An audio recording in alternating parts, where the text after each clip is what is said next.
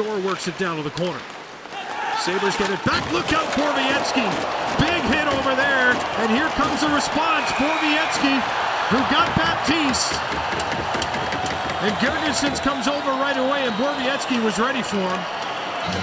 Now, you make a hit like that, you better be ready for him. And that's good to see Zemgus Girgensons stepping in and addressing Borowiecki as he hits.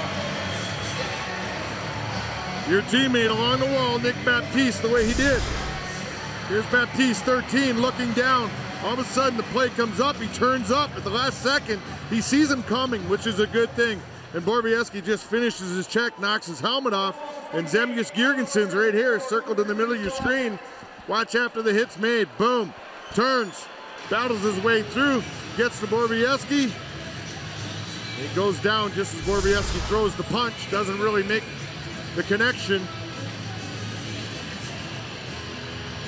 But still, you like to see the response.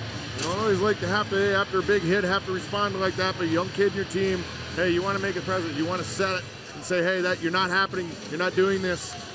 And I like the pushback from Zemgus Girgensons.